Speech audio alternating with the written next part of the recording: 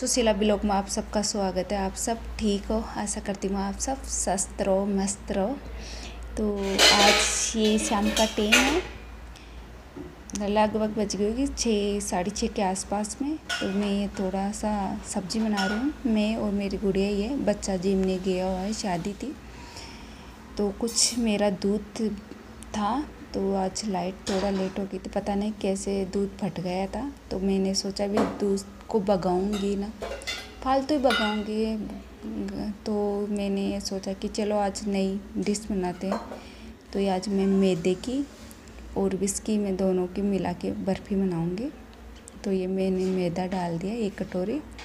घी, पहले तो घी डाल दिया मैंने। घी के लगभग होगा एक कप के आस आसपास में एक कप घी का डाल के मैंने एक कटोरी मैदा डाल दी। और इसको मैदा को पहले सेक रही हूँ घी में। पानी वगैरह नहीं गिरा मैंने घी में सेकूँगी कोरा। तो घी में सेकने के लग रही हूँ, फिर वो कुछ तो आप लोगों को ये कह बोल रही हूँ, ये मेरा वो फटा हुआ दूध है तो इसमें मैंने नचो के रख लिया। आज मैं रसगुल्ला नहीं बनाऊँगी। कुछ मैंने सोचा कि नहीं, कुछ डिस बना लेते हैं, नहीं तो मैंने मेरे दिमाग से कुछ ही अलग से बनाई हूँ। तो इनको मसल के, ये मैंने इलायची डाल हूँ, मसल के में। तो तो वो कर दी, मैंने मिक्स कर लिया। एक यहाँ से मसल के पूरी आटे की तरह बना लिया मैंने। तो मैं इसको भी घी में ही सेकूँगी। तो आप लोग मेरे कोई तो सपोर्ट दे रहे हो, इतनी वो कर रहे हो, आप लोग को मेरे, मेरी तरफ़ से थैंक यू और आप जैसे कुछ आप लोग देखते हो तो आप मेरे चैनल को सब्सक्राइबर कर दिया करो। तो ये मेरी मावा मावा का नाम आता है यार बार बार में। तो ये दूध फटा हुआ था तो इसका मैंने, ये भी मैदा को, पहले मैंने मैदा को सेक लिया, फिर ये इसको सेकने के लिए लग रहे हो। तो ये ऐसे हल, हिलाते रहे इसे चेट ना जाए कढ़ाई में। तो मैं ये फ्रूट कलर गिर रही हूँ। मैरून कलर था फ्रूट का। वो कलर डाल रही हूँ इसमें। बहुत अच्छा लगा था ये। अच्छी खाने में बहुत टेस्ट लगा था। तो ये इसका फ्रूट कलर देने से ऐसे कलर आ गया था इसका। मैंने कुछ पानी वगैरह नहीं डाला था। आप चाहे तो पानी भी डाल सकते हो। मैंने घी में ही बनाया था पूरा।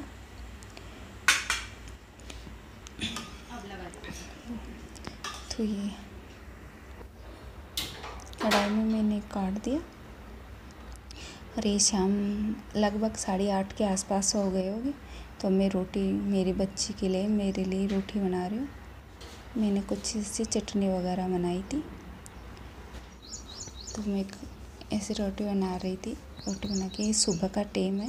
मैं सुबह उठ गई थी ये पाँच बजे का आसपास का टाइम है। पाँच बजे आज गर्मियों में पाँच बजे उजाला हो जाता है अच्छी तरह।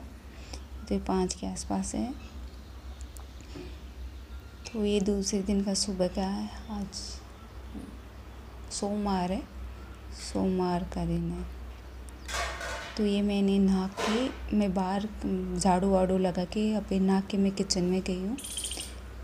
मैंने नहा लिया नहा के मैं किचन में झाड़ू लगा रही हूँ। झाड़ू लगा के मैं चाय वगैरह पियेंगे, चाय बनाएँगे। चाय वगैरह पी के सुबह का काम चालू हो गया किचन का।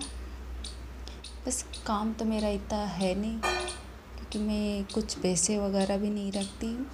और कुछ हल्की बल्की खेती कर लेती हूँ।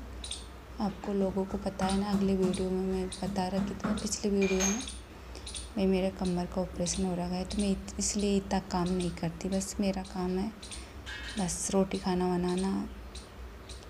बस यही कुछ है। मेरी फैमिली भी इतनी बड़ी नहीं है, मेरे दो बच्चे हैं और मैं रहती हूँ, मेरा हस्बैंड रहता नहीं है। तो ये चाय बन गई। अब मैं चाय छानने लग रही हूँ तो मैं मेरे बच्चा को चाय दे के आ रही हूँ। बच्चा को दे देती हूँ, गुड़िया, मेरी गुड़िया, एक गुड़िया को दे लेती हूँ, मैं खुद पी लेती हूँ, बस अकेली रहती हूँ, एक बड़े आप लोगों को बस बातें कर लेती हूँ, आप लोगों से शेयर कर लेती हूँ, आप लोग, फैमिली है ना मेरे। तो मैं थोड़ा कपड़े बाकेट बाल्टी में रख दी थी, वो मैं थोड़ा लेट सुखाने चले गई, सुखाई थी। यहाँ के बाल्टी में रख रखा था, अब मैं कपड़े सुखा रही हूँ। ये गाड़ी अट्टाला है, ऐसे ही खड़ी है, ऐसे बकाऊ गाड़ी है। हम गाड़ी इतनी, औकात तो है नहीं जो गाड़ी ला के खड़े कर दे। कुछ पुरानी गाड़ी थी, ऐसे ला के खड़ा कर दिया था मैंने। चलो ये काटने के लिए लग रही हूँ। अब खाना खाएँगे तो ये काट के मैं दिखा रही हूँ आप लोगों को। एक तरह इतनी टेस्ट लगी थी, बहुत अच्छी लगी थी, स्वाद बहुत अच्छी थी। तो मैंने मेरे नहीं, ऐसे ही मना लिया था। मैंने सोचा फालतू ही भगाएँगे। तो चलो हम कुछ बर्फ़ी वगैरह ही मना लेते। इसलिए मैंने मैदा एक डाल के उसकी बर्फ़ी बना ली थी। अच्छी लगा था ये। आप लोग भी खा लो, कितनी अच्छी है। आप एक बार बना के ट्राई करना ज़रूर। बहुत अच्छी लगेगी। थोड़ा कैमरा में मैं काली आ रही होगी, क्योंकि कैमरा साफ़ नहीं आता पीछे वाला मेरा। तो ये मैंने रोटी वगैरह बना के कुछ मिर्ची बांट रही हूँ। एक केरी थी, लहसुन थे, सूप थी, उनकी मिर्ची बांट के मैंने मिर्ची चूकन दी थी। उनके साथ ही खाई थी मैंने सब्ज़ी नहीं बनाया था सुबह तो ये मिर्ची बांटने के लिए लग रही हूँ मैं। तो इसमें थोड़ा सा मैं पास्ट कर दी थी क्योंकि बड़ा हो रहा था वीडियो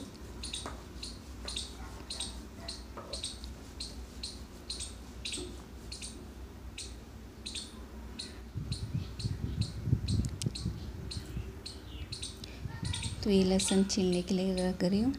मैं भाई बैठी हूँ जहाँ वो अटाला दिखता था ना गाड़ी का भाई मेरा ये पत्थर सलपट्टा रख रखा था बांटने का मिर्ची का। वही बांटती हूँ। ये बाहर मेरा रूम है। बाहर में ऐसे अटाला कुछ सामान रखने के लिए बाहर चारा के लिए वैसे रखती थी ना पहले। तो उनके लिए घर बना रखी थी। पीछे वाला रूम है। अंदर तो दो ही रूम है। तो वो रूम है।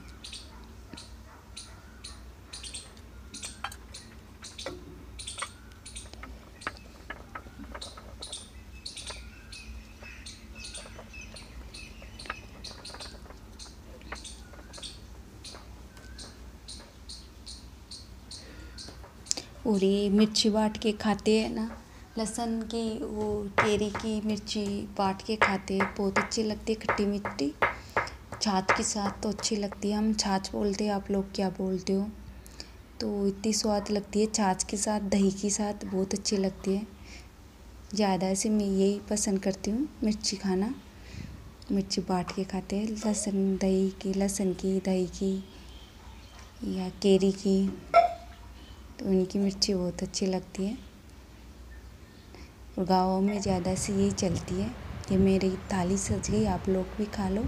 आप लोगों की थाली सजा दिया। तो मैं खाना खाने के लिए लगूँगी।